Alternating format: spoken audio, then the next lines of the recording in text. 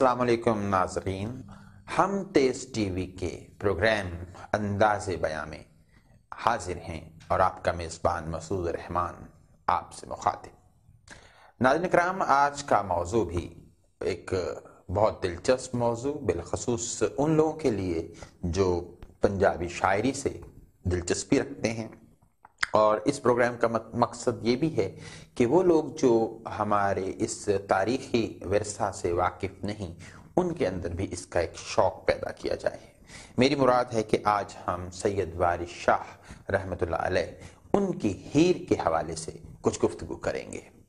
सैयद वारिस शाह 1722 में पैदा हुए और सत्रह सौ अट्ठानवे में उनकी वफात हुई।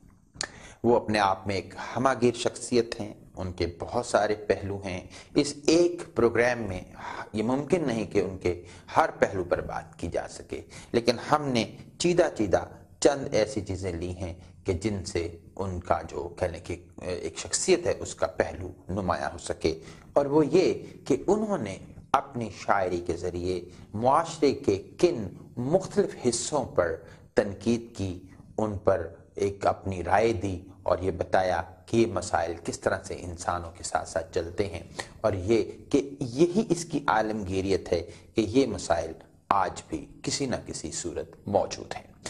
हीर बादशाह की कहानी बज़ाहिर एक इश्क और मोहब्बत की कहानी जो हीर और राजा के दरमियान है, लेकिन असल में मामला ये है कि इसी कहानी में उन्होंने ऐसे ऐसे मोती पिरो दिए हैं कि जो इल्म हिकमत के मोती कहलाते हैं। आप जानते हैं कि किस तरह से ये भाई थे आठ और फिर बाप का मर जाना और फिर वो ज़मीन जो है उसकी तकसीम तो आगे फिर उसका घर से निकलना, मस्जिद में जाना, वहाँ से फिर उसका एक मल्लाह से कहना कि मुझे ये नदी पार करवा दो। वहाँ पे फिर वो हीर का तख्त देखना और उस पर उसका बैठना, फिर हीर का आना और फिर उनकी मोहब्बत का आगाज़, फिर हीर का उसको अपने घर ले जाना, वहाँ उसको चाक बना देना और वहाँ पे फिर उनकी मोहब्बत का आगाज़ हो जाता है, उनका मेल मेल और मिलाप होता है और लोग फिर किस तरह से उनकी मोहब्बत को बदनाम करते हैं। फिर हीर की शादी हो जाती है खेड़ों में और फिर जो रंगपुर में कहने के वहाँ पे होता है खेड़ा उसके साथ। फिर राजा जोगी बन के पहले एक हिंदू के पास जाता है ताकि उसको जोगी बनाया जाए। फिर वहाँ से वो निकल के रंगपुर में जाता है और वहाँ पे फिर वो जोगी बन के रहता है और इसी दौरान फिर एक प्लानिंग होती है रांझे और हीर की और हीर अपने आप को झूठ मूठ एक सांप जो है उससे डसवा लेती है। हालाँकि डसा नहीं होता सांप ने, लेकिन फिर वो जाते हैं, जोगी को लाते हैं, जोगी आता है और घर में कहता है, जी, सहती और यानी सहती जो नंद है हीर की उनके साथ वो फिर कहता है, हमें कमरे में बंद कर दिया जाए। फिर वो चूँकि सहती भी मुराद से मोहब्बत करती है तो यूँ फिर वो दोनों को लेके निकल जाता है और यानी दीवार तोड़ के और फिर उसके बाद मुराद सहती को ले जाता है, राजा हीर को ले जाता है। लेकिन पीछे से फिर उनके जो लोग हैं, वो आके इनको पकड़ते हैं और एक बादशाह के पास लेके जाते हैं। बादशाह फिर फैसला करता है कि ये सारा झूठ था जो निकाह हुआ हीर का। लिहाजा वो राजे के स्पुर्द करता है हीर को और कहता है कि इनका दोबारा निकाह हो। लेकिन जो इसका चचा है कह दो वो इसके हरा में रुकावट है और वो फिर जहर दे देता है हीर को। और यूँ राजा खबर सुन के मर जाता है। ये एक सादा सी कहानी है, लेकिन इसके अंदर मुख्तलिफ़ पहलुओं पर माशरे के बात की है। इसमें नफ्सियात के पहलू भी मौजूद हैं, अखलाकियात के पहलू मौजूद हैं तसवुफ पर बात की गई है। औरतों के हवाले से नफ्सियात पर उनकी गुफ्तु है, मर्दों की नफ्सियात पर गुफ्तु है, ज़िंदगी के फ़लसफ़ों पर बात की गई है। जो बहुत सारी रस्म व रिवाज जो इंसान के लिए एक मसला है, उन पर गुफ्तु की गई है। हम आगाज़ करते हैं सैयद वारिस शाह की जो हीर है उसमें इस बात से कि उन्होंने किन किन मकाम पर तनकीद की है। यहाँ पर पूरे मकाम को पेश करना मुमकिन नहीं। चंद एक सिर्फ़ एक इशारे के तौर पर आप तक पहुँचाए जाएँगे। मैं जिस हीर से पढ़ रहा हूँ, ये पीरा दित्ता साहिब की हीर है, हीर वारिशा जो उन्होंने मुरतब की है, उस पे से। तो आप जानते हैं कि जब ज़मीन जो है वो तकसीम होने की बारी आती है तो यहाँ पर लिखते हैं के दर बयान तलबीदन बरदरान रांझा काजी बराए तकसीम ज़मीन की तकसीम के लिए काजी को बुलाया जाता है, रांझे के भाई बुलाते हैं। तो हज़रत काजी ते पैंच सदा सारे पाइया ज़मीन कछ पवायाई कच का मतलब उसकी पैमाइश करवाई। ज़मीन काजी को बुलाया, पंचायत को बुलाया। वड्डी दे के ज़मीन दे बने वारस। ये है तनकीद। वड्डी कहते हैं रिश्वत को कि रिश्वत दे के ज़मीन के वारिस बने। और बंजर ज़मीन टेनू आया ये दूसरा मसला। कि रांझे की ज़मीन जो दी, उसको बंजर ज़मीन दे दी और एक रिश्वत दी। यानी उस वक्त के काजी और पंचायत भी उसी लानत और करप्शन में जकड़े दिखाई देते हैं, जो आज भी आपको किसी न किसी सूरत दिखाई देंगे। कच्छा मार, शरीक मज़ाक कर दे, पाइया रांझे ने दे पा बनाया कि उन्होंने बड़ा जुल्म किया और जी बड़ा शोखी से मज़ाक कर रहे और गल पाइया ए बना छड़ी मगर जट दे फकड़ी लाया भाइयों ने तो ये बात यूँ ही की, लेकिन उसके सिरे फकड़ी बदनामी लगा दी। सीधा करना है, ये चक्कड़े नु। पिंडी नेत तो नेत सवाई कि हमने इसको सीधा करना है, इसने हमें पिंडी लगा दी है, यानी रसवाई लगा दी है। वारस शाह जे नफस दे कहन लगो एमी रायगा उम्र गवाया कि अगर हमने अपने नफ्स की ख्वाहिशात के पीछे चले तो समझ लो हमारी उम्र रायगा गई। यानी आखिर में एक सबक भी दे दिया। तो ये उस दौर के अंदर भाइयों का भाइयों के साथ जो शरीक, जिसको हम कहते हैं, वो भी नज़र आता है। और इस तरह से काजी और पंचायत के जो मामला हैं, वो भी नज़र आते हैं। उसके बाद फिर देखें कि दरमियान में भाभीियों के साथ भी उसका झगड़ा के भाभियाँ किस तरह से उसके साथ सलूक करती हैं। तो जैसे एक भाभी की मैं चंद अशार पढ़ूँगा, कहती है, करें खा के आकड़ा दुध चावल, ए रज के खान दिया मस्तियाँ नी। आखण देवरा नाल निहाल हुई सानू सब शरीकना हस्तियाँ नी। ये भी वहाँ का मसला नज़र आता है कि देवर भाभी के ताल्लुकात कैसे अजीब से रहे हैं। ए रांझे दे नाल ने क्यों शक्कर पर जी का भेत न दसदियाँ नी रना डिगदियाँ नी वेख छैल मुंडा जिमें शहद विच मक्खियाँ फंसदियाँ नी हम एक प्रोग्राम इस पर भी करेंगे कि बारिशाह ने कैसे खूबसूरत तशबीहात और इश्तेहारे इस्तेमाल किए हैं जैसे यहाँ पर देखिए रना डिगदियाँ नी वेख छैल मुंडा जिमें शहद विच मक्खियाँ फंसदियाँ नी ते एक तू को लंक है असा लगा होर सब सुखालियाँ वस्तियाँ नी करो निकले ते प्या मरे भुखा सबे भुल जानी खर मस्तियाँ नी और इस तरह से ये उसकी अपनी फिर भाभी को भी वो गुफ्तगु करता है कि मुँह बुरा दसेंदड़ा पापिए नी सड़े हुए पतंग क्यों साड़नी है? तेरे गोचरा कम की पिया मेरा, सानू बोलियाँ नाल क्यों मारनी है? उत्ते चाड़ के पौड़ियाँ ला लवें, कई गलां दे मैल उसारनी है। असा नाल की मामला पिया तेरा, पर पेकिया वालों गवारनी है। तो ये एक झगड़ा जो एक नज़र आता है इन रिश्तों पर, एक तबसरा है वारिश शाह साहब का। उसके बाद जब वो मस्जिद में चला जाता है तो उसको देखकर क्या कहता है मौलवी साहब कि घर रब दे मस्जिदा ਹੁੰਦੀਆਂ ने इथे गैर शरा नहीं वाड़िए ओए तारक होए सलाद दा पटे रखे लबा वाले मार पछाड़िए होए नीवा कपड़ा होए ता पाड़ सुटिए लबा होन दराज ते साड़िए होए जेड़ा खाए हराम ते झूठ बोले कावर काफर उस नु आ पुकारिए होए करे हुज्जता आन के नाल साडे ओनू मार के चा उजाड़िए हुए कुत्ता अते फकीर पलीद होवे नाल दुर्रिया बन के मारिए हुए अब उस पे फिर जो राजा जवाब देता है वो असल में इनके ऊपर तनकीद है जो उस आज भी आपको किसी ना किसी नज़र आती है कि तुसी विच खुदा दे खाने दे ढिली छड़ के गूज क्यों मार दे हो गूज होता है, हवा खारिज करना, बा आवाज़ बुलंद। कि तुम मस्जिद में ये काम करते जाते हो। तुसी विच खुदा दे खाने दे ढिली छड़ के गूज क्यों मार दे हो? झूठ गीबता अते हराम करना, मुश्त जनी दे काम क्यों सार दे हो? अठे पैर मसीद विच बैठ के ते पए बुरे ख्याल चतार दे हो। ते अन्ने कोड़ियाँ अन्ने कोड़ियाँ लूलियां वांग बैठे ਤੇ ਕਿ ਕੁਰਾ ਮਰਨ ਜਹਾਨ ਦੀ ਧਾਰ ਦਿਓ ਬਾਸ ਹਲਵਿਆਂ ਦੀ ਖਬਰ ਮੁਰਦਿਆਂ ਦੀ ਜਿਉਂਦੇ ਨਾਲ ਦੁਆਈਆਂ ਦੇ ਮਾਰ ਦਿਓ ਸ਼ਰਾ ਚਾਹ ਸਰਪੋਸ਼ बनाया जे रवादार बड़े गुनागार दियो तो ये उस हवाले से आपके सामने नजर आता है कि एक मस्जिद का क्या मामला था फिर जब वो मल्ला से कहता है तो मल्ला भी अब है कि वो कहता है मुझे आप चढ़ा लें इस पे रांझा आख्या पार लगा इब्बा इब्बा अभी ਮੈਨੂੰ ਚਾੜ ਲੈ ਰੱਬ ਦੇ ਵਾਸਤੇ ਤੇ ਤੁਸੀਂ ਚਾੜ ਲਵੋ ਮੈਨੂੰ ਵਿੱਚ ਬੇੜੀ चपातक रब दे वास्ते ते, कि मैं भी ज़ोर लगा दूँगा कश्ती को। लेकिन मल्ला क्या कहता है? लब वास्ते बेड़ी दे विच बैठे। हम तो लालच के लिए बैठे हैं बेड़ी में।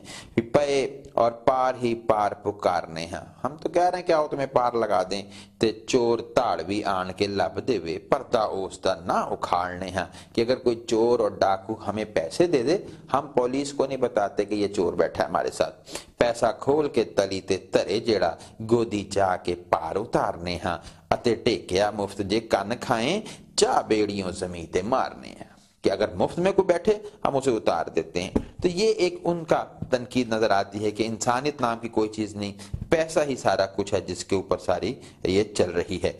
उसके बाद आप देखें कि जब पता चलता है कि रांझा जो है ना वो हीर के साथ इसका मामला हो गया है और सारे जहान को पता चलता है तो लोग कहते हैं कि यार ये गलत हो रहा है।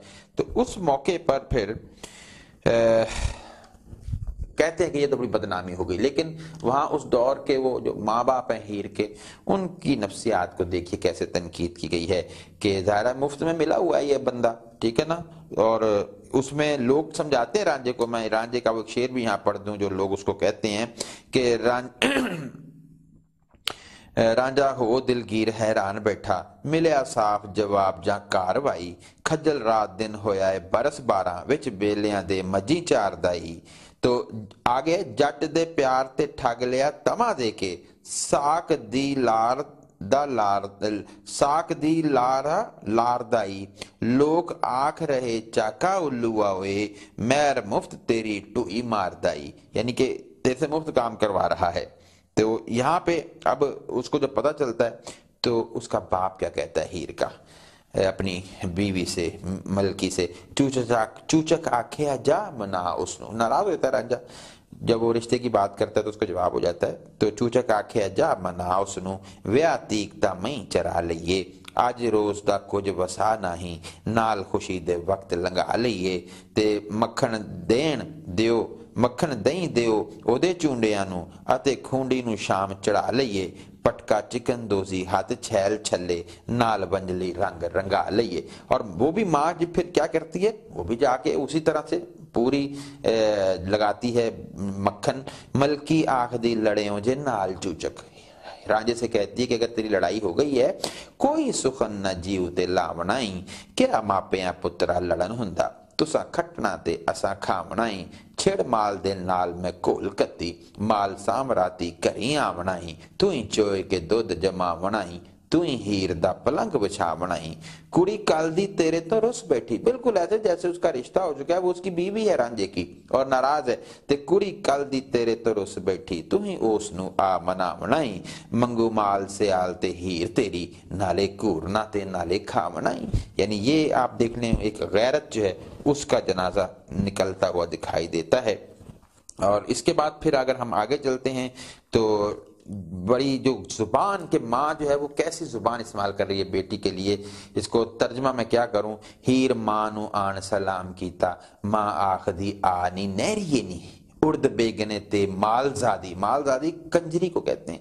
ते गुस्से मारिए, जहर दिए, जहरिए नहीं, हर बोलिए, गोलिए, बेहयाए, कोंड वटिए गुल दोपहरिए नहीं, उद लगने, बटनिए गड़निए नहीं, छैल छदिए छुनिए छहरिए नहीं, तू अकाए के साड़ के लोड़ दिता, लिंग कड़ूँगी, नाल मुतहरिए नहीं, मन आखनियो टल जा साथों मैं रांझने दे नाल दी मेहरिए नी चाक नाल जाके बेले फसी कंडे मुश्क कुत्तीए कट्टीए वेड़िए नी चक्कर चलिए ते कुक बिलिए नी गलों साडियों लो गुलैड़िए नी गन कन गलेठिए ते चक्कर फिरनिए नी चित्तड़ मोटिए आग दहरिए नी अखी कड़निए ते संख कूरनिए नी थलब गलिए थे तकड़ तैरनी नहीं। ये अब ऐसी सारी ज़ुबान है इसको क्या तर्जमे में। लेकिन आपने कुछ अंदाज़ा लगाया होगा कि माँ किस तरह से एक बेटी के साथ गुफ्तु कर रही है और ये भी तनकीद है कि जब ऐसी गुफ्तु होगी तो फिर हीर ही जन्म लेगी।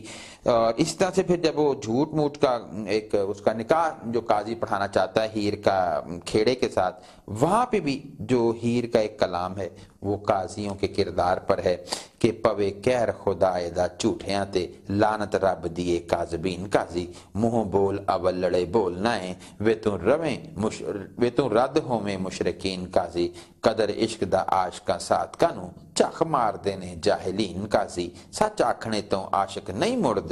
कौल इन कुन तुम सादिकीन काजी ते रांझे रब दे विच जे विथ जाना दर्जे इश्क दे ਕਿਵੇਂ ਢਹੀਨ ਕਾਜ਼ੀ ਹੁਸਨ ਚਾਗਦਾ ਤੇ ਜਲਵਾ ਜ਼ਾਤ रपी हीर वेखे नाल यकीन काजी तो ये यहाँ पे उसने उनके ऊपर तनकीद की है कि काजियों का भी यही हाल है उसके बाद फिर जो रांझा है वो जाता है अब एक बालनाथ के पास और कहते हैं कि वो जोग लेने जाता है लेकिन अगर गौर करें तो वो जोग दे के आता है उसको ना देखा जाए तो वो उसको जोग दे के नहीं, ले के नहीं, बल्कि दे के आता है। लेकिन यहाँ चलते चलते एक बड़ा खूबसूरत बंद है, जो सूफियों और झूठे पीरों के ऊपर है कि ये असल में क्यों ऐसा बनते हैं? क्योंकि इनको काम नहीं करना पड़ता, कोई मुफ़्त की रोटी मिलती है, ते हो कहता है कि, होका फिरे दिंदा पिंडा बेच सारे, आओ किसे फकीर जे हो बना जे। झूठ मूठ का पीर बन गया, आवाज़ें दे रहा है, मंग खावना, कम न काज करना ना कुछ चारना ते ना कुछ चोवना जे जरा कन पड़वा के स्वा मलनी गुरु सारे जगत दा हो बना जे ना दिहाड़ी ना कसब रोज़गार करना ना डोशा फिर मुफ़्त दा हो बना जे ना देनी दुहाई फिर जमने दी किसे मोए नु मूल ना रोवना जे मंग खावना अते मसीत सौना ना कुछ देवना ते ना कुछ लेवना जे नाले मंगना ते नाले घूरना जी देनदार ना किसे दा होवना जे मस्त